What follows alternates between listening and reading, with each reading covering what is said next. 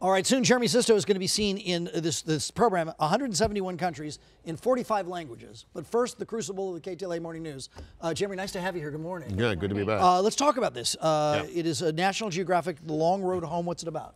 Uh, so it's it's uh, it's an eight eight hour miniseries that uh, relives the um, this heroic fight that these soldiers put up in the Iraq War in 2004 uh, when they were ambushed. Um, it's a it's a day that uh, the military calls a Black Sunday, and uh, and it's it's a it's a really beautiful miniseries. Each episode goes into a character in more depth. Uh, we also um, we cut back a lot to the uh, the families, the wives back on uh, Fort, Fort Hood, Texas, dealing with the uh, you know hearing the news and awaiting uh, the the results of, of this this horrible incident. And um, it also uh, chronicles one of the interpreters, the Iraqi interpreters, and sort of one episode is is is engaging in that storyline and, and sort of going into what it is to be an Iraqi during this time. You, you reference it as an important story. It obviously is. You have the script material. Were there other things that you did to learn more about this?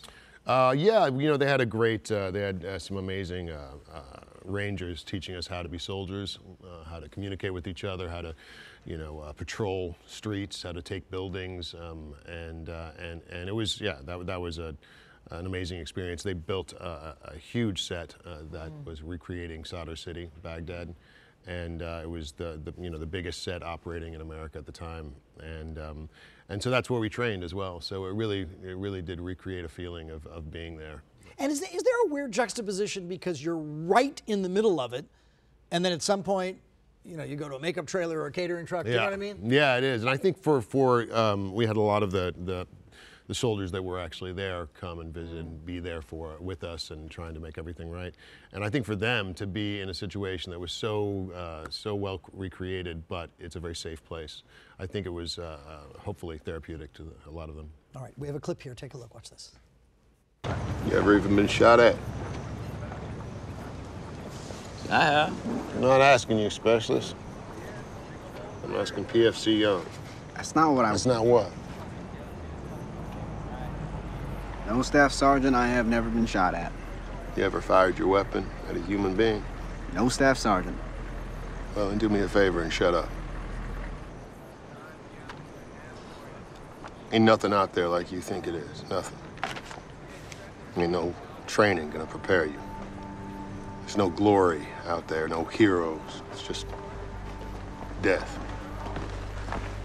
and rot. Hmm. Wow. Wow. Did, did it take a while to shake the whole thing off, or did you, you want to carry the feeling with you for a while?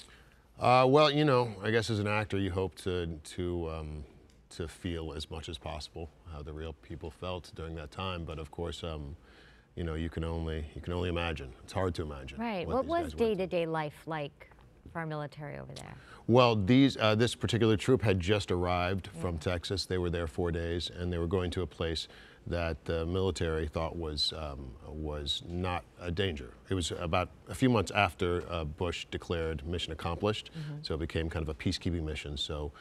These men were supposed to just go over there and, you know, shake hands, give candy to the kids, help with the sewage, help with the, you know, infrastructure stuff. Uh, and what they didn't know is the head of the, uh, the community, Muqtada al-Sadr, who uh, had supported the, the military before that because he was against Saddam Hussein, well, he would now, was now one, of, now one of the Americans out. So he planned this uh, really well organized ambush. Um, And uh, that's what the, the film's about. Long Road Home will premiere on November 7th on National Geographic uh, here and will also be seen all around the world. Jeremy, thanks for coming in this morning. Thanks for having me. Thank me. you, Jeremy. Thanks, guys. Good to see you.